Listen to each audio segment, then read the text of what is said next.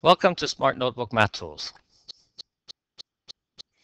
Today we're going to look at how to use the protractor and see what has been added to its functionality.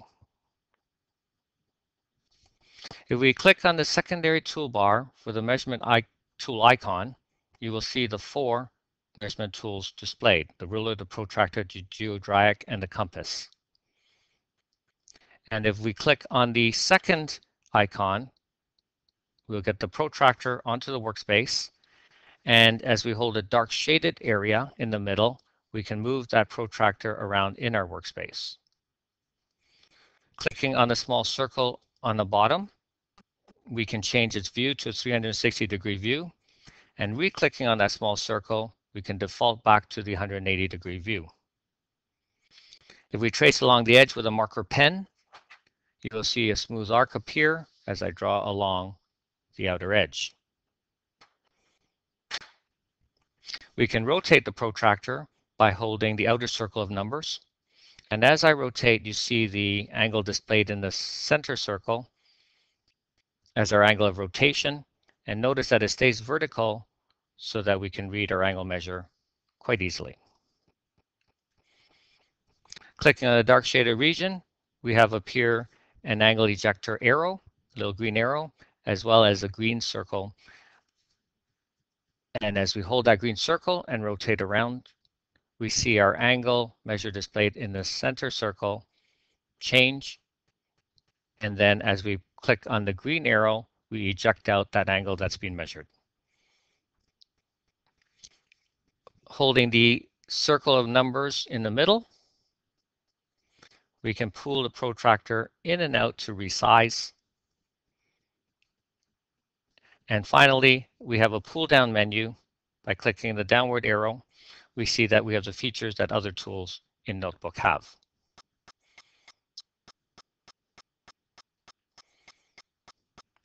So what has been changed from using the older version of Notebook to newer version?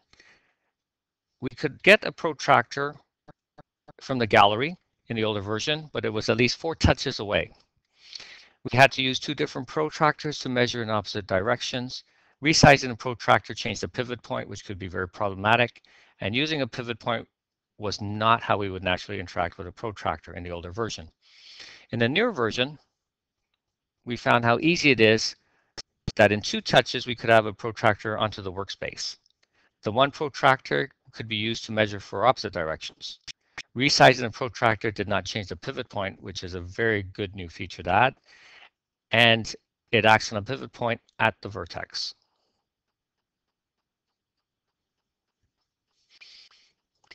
Now let's see how some of this functionality can be applied in an example. Given similar triangles, verify the equality of corresponding angles and the proportion of corresponding sides. So we could use our measurement tools, the ruler and the protractor to do this.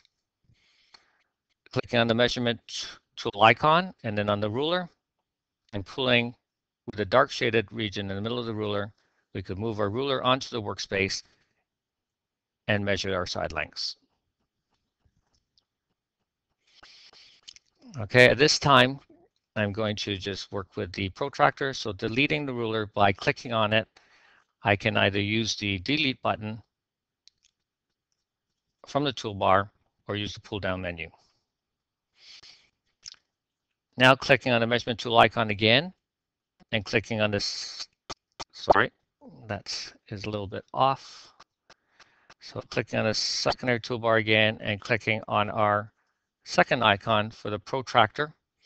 Again, holding the dark shaded region, I can move my protractor and place it anywhere in the workspace. So at one of the vertices or at a vertex of one of the triangles.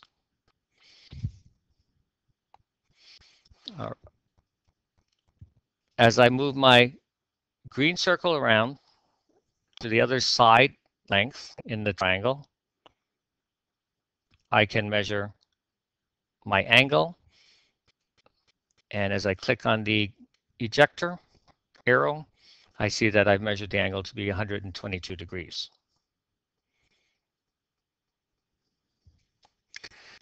Using another protractor, so clicking on my protractor, I can either go to the secondary toolbar or just clone this one. Okay, so there I have a second protractor to use and placing it on my other triangle. And then clicking on the ejector arrow, moving my little green circle around with its arm to the other side length. And then clicking on the ejector, actually I'm going to resize this protractor before I do that so that when I click on the ejector arrow, I can see that angle displayed as 122 degrees.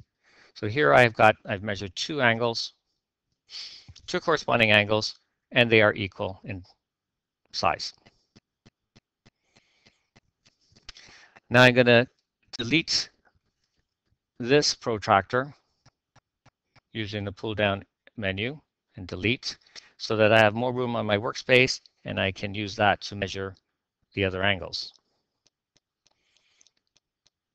So moving my protractor to one of the other vertices. Okay, now I can move my green but um, green circle down to one of the side lengths. And I can move my white circle around so that I can measure that angle between two of the sides in a counterclockwise direction. So if I read now from the left side of the protractor, it looks like I've got about 21 degrees there. And as I eject this angle, I see that I've measured that angle to be 121 degrees, or sorry, 21 degrees. All right, to measure my third angle, let me move my protractor actually to the other triangle so that I can see how we can do this.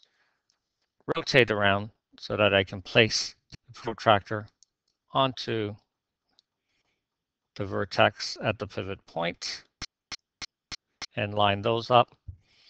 Rotate my protractor so I'm along one of the side lengths.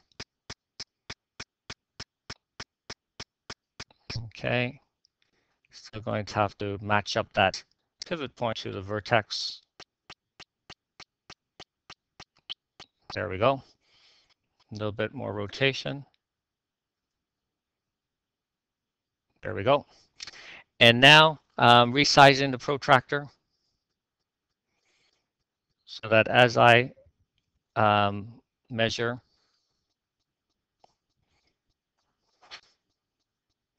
so moving the white circle around to one of the side lengths and moving the green circle around to the other side length, I can measure from in a counterclockwise direction as I move from the white circle to the green circle, ejecting that angle, I have measurement of 36 degrees. Okay, we can also look at other properties of the triangle, um, such as placing the 36 degrees 122 degrees and at 21 degrees. And looking at the sum of the angles of triangle, and we have it pretty close to 180 degrees. The accuracy is going to be similar to what the students will actually work with with real protractors, trying to get that accuracy. And for the smartboard, this depends on trying to line up that vertex with the pivot point.